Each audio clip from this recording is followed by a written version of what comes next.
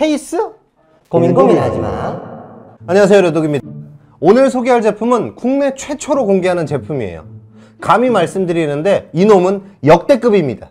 아무것도 따지지 않고 그냥 사면 되는 그런 초대박 제품이죠. 바로 제 옆에 있는 마이크로닉스 M60 케이스입니다. 과연 이 녀석이 어떤 놈이길래 려더기가 이런 얘기를 하는지 궁금하시죠? 지금부터 차근차근 알아보겠습니다. 오늘 영상은 놓치지 마시고 끝까지 잘 시청해주세요.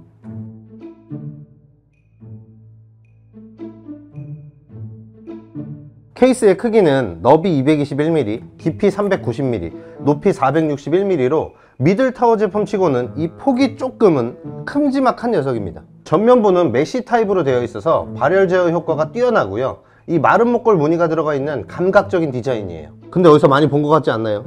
요즘 한 5만 1천원 정도? 한 5만 원대 초반에 판매되고 있는 엘도라도 케이스와 거의 흡사한 모습이에요. 그리고 상단부 I/O 포트는 전원 버튼, 리셋 버튼, 오디오 단자, USB 2.0 2개, 3.0 하나. 그리고 그 뒤로는 이 자석식 먼지 필터가 달려 있습니다. 좌측면은 아크릴로 내부를 이렇게 들여다볼 수가 있고요. 우측면은 그냥 철판인데 이게 두툼하진 않지만 떨림음이 그닥 심한 편은 아니에요. 후면부는 일반적인 middle tower 케이스들과 동일한 모습입니다. 하단부엔 하드웨어를 분리할 수 있도록 손나사로 이렇게 고정이 되어 있고요. 이렇게 손나사 두 개가 달려 있어요 그리고 파워베이 아래로는 먼지 필터가 달려 있습니다. 이제 양쪽 옆판을 열어서 내부를 확인해 볼게요. 전면에 RGB 팬 3개 그리고 이쪽에 보시면 후면에 하나 그리고 상단에 non RGB 팬 2개로 총 6개의 120mm cooling 팬이 기본으로 들어가 있어요. cooling 팬 많이 들어갔네.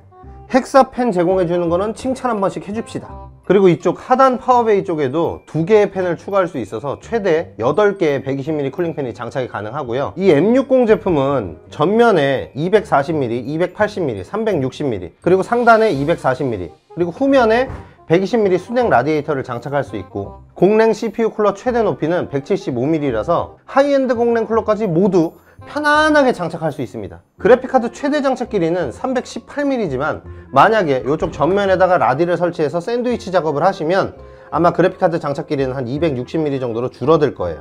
그리고 이 측면 선정리 공간은 전체적으로 뭐 깊거나 뭐 이런 넓지는 않지만 이 선정리를 위한 공간을 이 한쪽으로 넉넉하게 빼줘 가지고요. 어렵지 않게 선정리를 할 수 있을 것 같아요. 그리고 이쪽 선정리 홀이나 케이블 타이 고정부들 넉넉하게 있는데요. 제가 항상 강조하는 이 마이크로 ATX 보드 사용할 때 이쪽에 이제 선 정리하기 위한 요홀 요게 좀 있었으면 좋겠지만 요 부분이 없는 건 조금 아쉬운 부분이에요.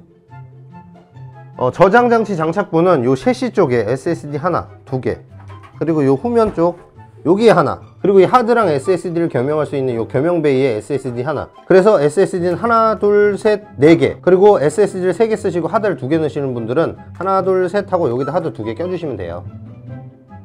일단 지금까지는 이 케이스의 가격을 여러분들이 모르실 테니까 그냥 뭐 시중에 판매되는 4, 5만원대 뭐 5만원 조금 넘어가거나 뭐 4만원대 중후반 정도 되는 제품들이랑 비슷하네 라고 하실 거예요. 그쵸? 그럼 이제 제가 다른 케이스 두 가지를 한 번 더 보여드릴게요. M60과 똑같이 헥사팬을 지원하는 앱코의 6팬과 그리고 M60과 비슷한 디자인의 다크플래시 DLM21 메쉬 제품을 준비해봤습니다.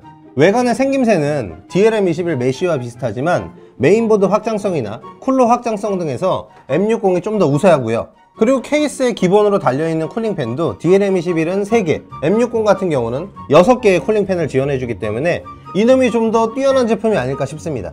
쿨링팬이 6개인 장점은 6펜과 동일하지만 케이스의 강판 두께, 사제 쿨러 확장성, 그리고 디자인 등에서 M60이 6펜보다는 한두 체급 정도 위의 제품이 아닌가 싶습니다. 현재 47,000원에 판매 중인 DLM21 메쉬와 29,500원에 판매 중인 앱코의 6펜과 함께 비교를 한번 해봤어요 여러분들은 과연 이 케이스의 가격을 얼마로 예상하시나요? 4만원? 4만 5천원? 오늘 소개한 마이크로닉스 M60 케이스의 국내 출시 가격은 무려 31,500원입니다 깜짝 놀라셨죠? 저도 처음에 가격 듣고 잘못 들었나 싶어가지고 뭐라고요? 그리고 다시 물어봤어요 31,500원에 쿨링팬도 6개나 주고 디자인도 괜찮고 선정리 전용 홀도 있고 쿨링팬 확장성까지 뛰어나고 전면에 스펀지 형태의 먼지 필터도 들어있고요 전체적으로 마감도 괜찮아요 강판 두께도 괜찮고요